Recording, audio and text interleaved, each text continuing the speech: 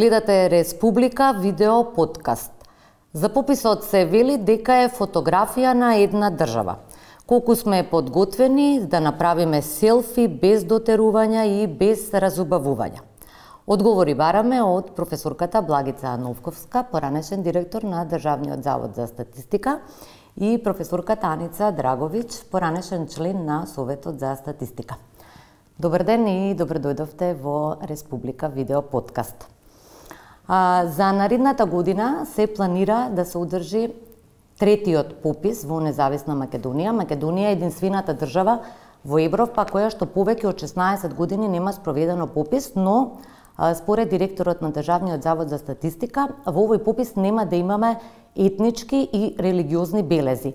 Колку отсутството на овие белези може да придонесе за податотите кои што ќе ги добиеме од пописот?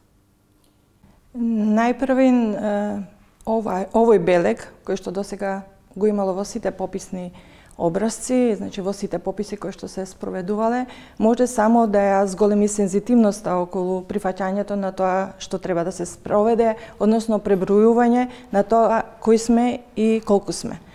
И сметам дека овој белек треба да го има во оној сет на прашања кои што се и во препораките на Обединетите нации за спроведување на пописите на населението и домувањето, а тие се наречени етно културни карактеристики. Што значи од она што сега се предлага, се трга она што се етно карактеристики, се оди само на културните карактеристики.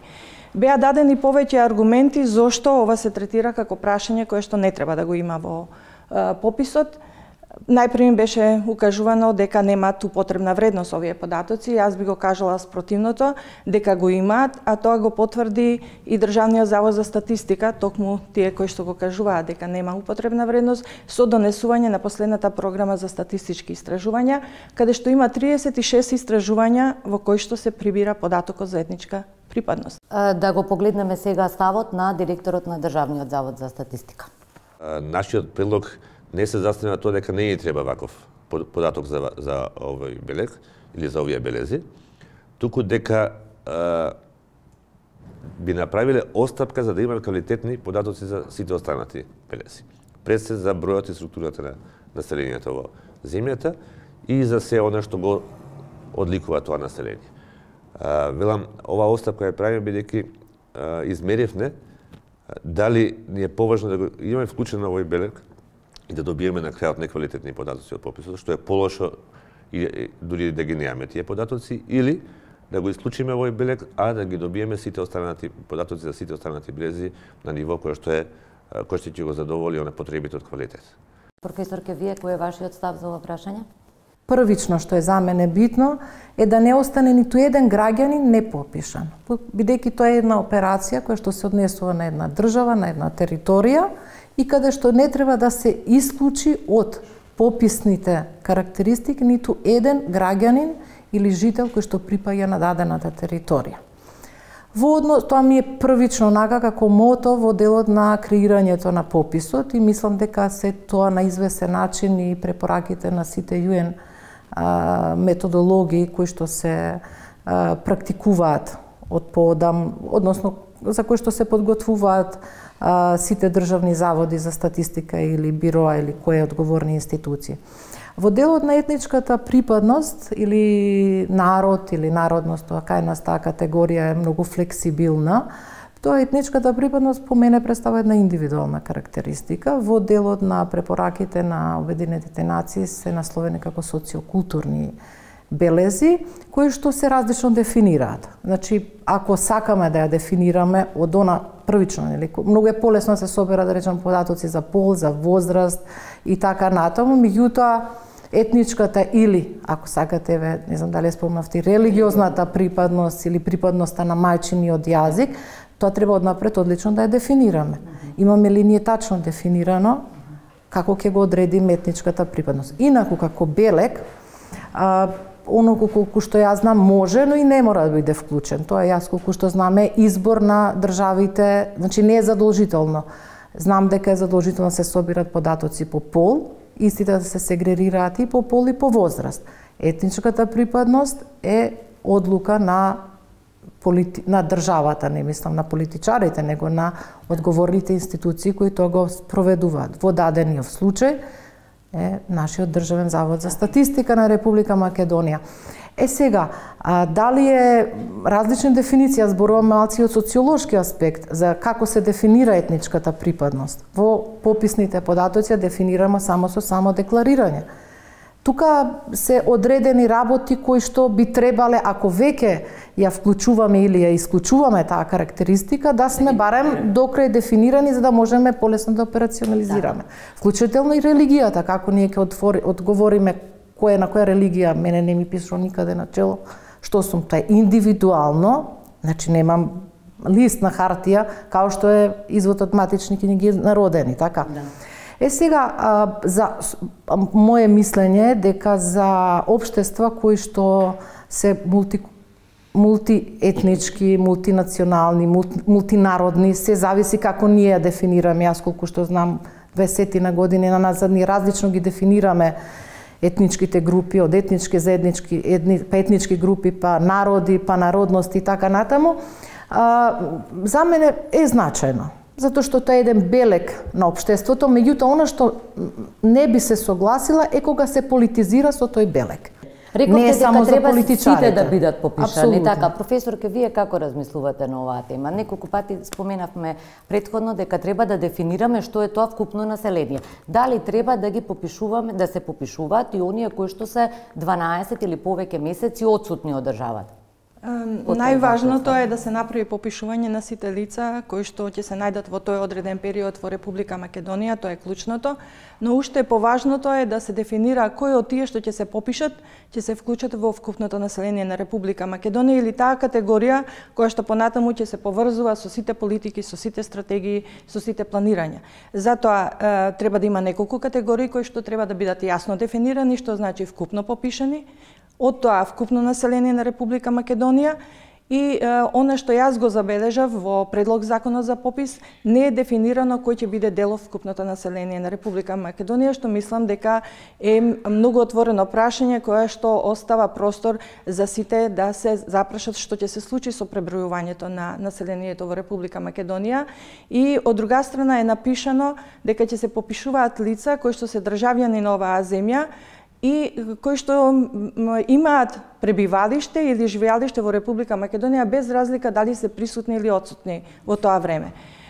Според мојот искуство, ова отвара дилеми кој се ќе се најде како попишан, затоа што понатаму е дефинирано дека под податоците кои што ќе се бараат за карактеристиките на лицата, домаќинствата, становите, може да ги даде лице кое што е присутно за лицата кои што се одсутни.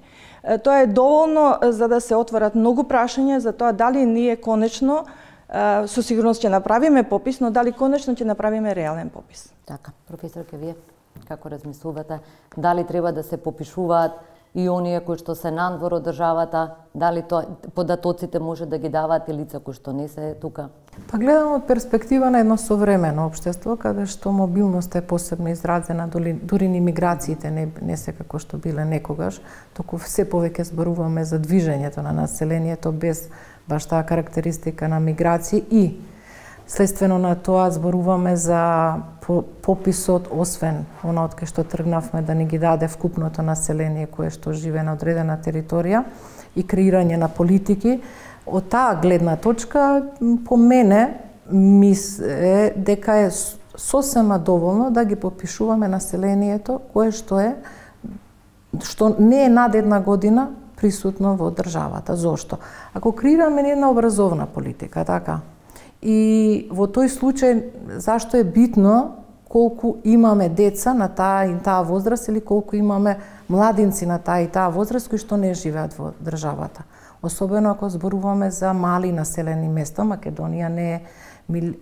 нема многу милиони жители, така. Така да од таа гледна точка мислам дека е подобро за креирање токму на а, политики врз основа, не, не, не мислам пописот да креира политики, да. туку за прибирање на податоци, за креирање на база на податоци соодветни на државата. Така да во таа смисла, секако дека доколку се инсистира да се прибираат податоци за лица надвор од а, таа една година, а се потребни можеби за одредени намени, сметам под, се потполно ја поддржувам мислењето на професор Новковска дека е потребно да се направат категории или да се категоризираат лицата. Ова беше еден од проблемите за пропаднатиот попис во 2012 година. Главниот проблем или она што предизвика прекинување на пописот кој што се спроведуваше во 2011 година беше токму тоа кој ќе биде вклучен во вкупното население И отаму кога се виде дека на терен се вклучуваат во попишување и се пријавуваат лица кои воопшто не се присутни и кои што се отсутни подолго од она што се сугерира според меѓународните стандарди, беше очигледно дека треба да го прекинеме пописот. Нова предходно моје објаснување би додала дека со овој попис се предвидува и попишување на диаспората, еве така да го наречам тоа, што воопшто не е проблем. Дури би го поздравила тоа како дел од пописните активности, но за мене е загрижувачко што повторно имаме нејаснотија околу тоа кој ќе се вклучи како дел од диаспората. Така да ако се следат дефинициите кој ќе се попишува во Република Македонија и кој ќе може според она што е насловено како само попишување, тогаш веќе се отвараат уште дополнителни дилеми. Кој каде ќе се најде? Кој ќе биде вклучен во диаспората, а кој ќе биде вклучен во оно што значи вкупно население на Република Македонија. Значи овие не нешто би додала кон сето ова, дилемите се зголемуваат и со посочување кој метод ќе се користи за попишувањето. Тоа е следното прашање, значи сега ќе се користи комбиниран метод, ќе се користат и регистри од други институции и ќе биде компјутерско, значи нема да имаме хартија. Да, и не е спорно околу изборот на метод, доколку ние како земја сме спремни за тоа.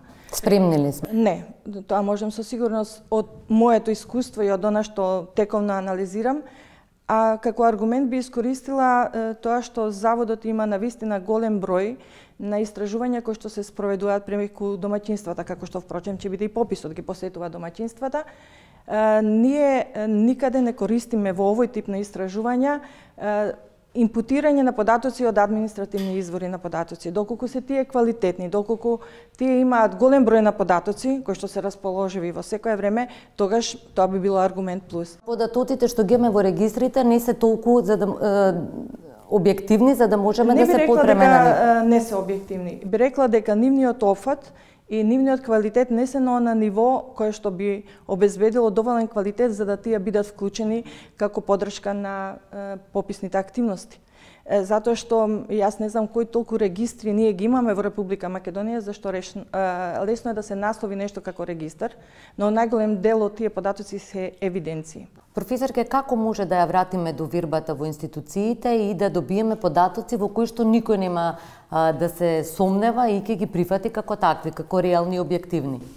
За да се обезбеди целосна доверба и во самиот процес на спроведување на пописот и особено во пописните резултати кои што ќе се добијат, мора целиот процес и сите негови фази да бидат јасни, целосно објаснети, транспарентни во текот на сите фази.